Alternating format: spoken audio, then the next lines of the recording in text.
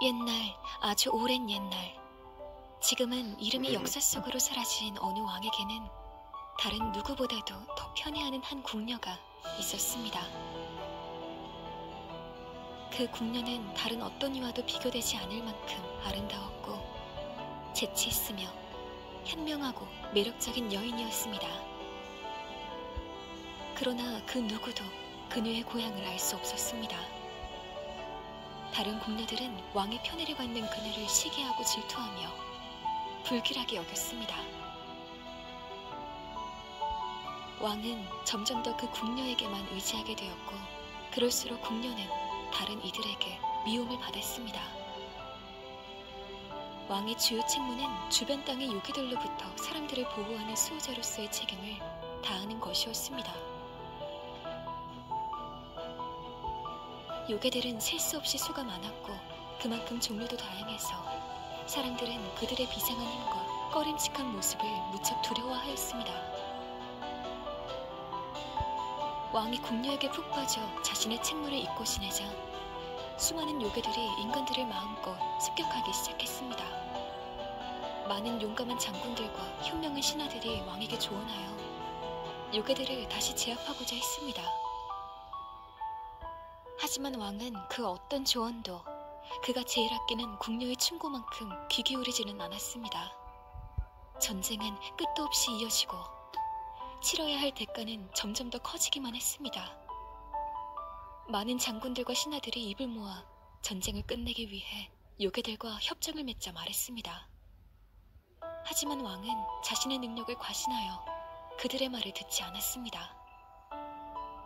그러나 여전히 그 궁녀의 충고만은 그 무엇보다 중요하게 여겼습니다. 왕이시여, 전투를 멈추지 말고 계속하세요. 그녀가 왕의 귓가에 속삭였습니다. 그렇게 전쟁은 계속되었습니다.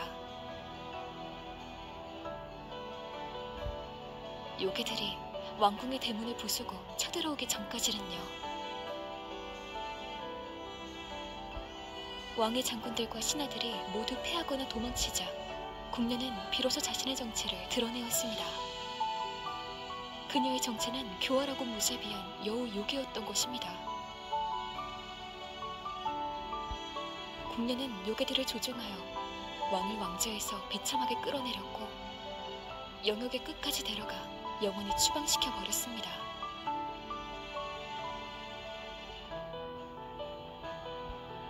왕을 추방시킨 후 궁녀는 스스로 왕좌에 올라 새로운 왕이 되었고 그날부터 지금까지 인간과 요괴의 직업을 똑같이 하며 끝없는 밤의 세계의 지배자로 군림하게 되었습니다. 이로 인해 온 판타시아가 타마무노 마의 이름을 알고 두려워하게 되었습니다.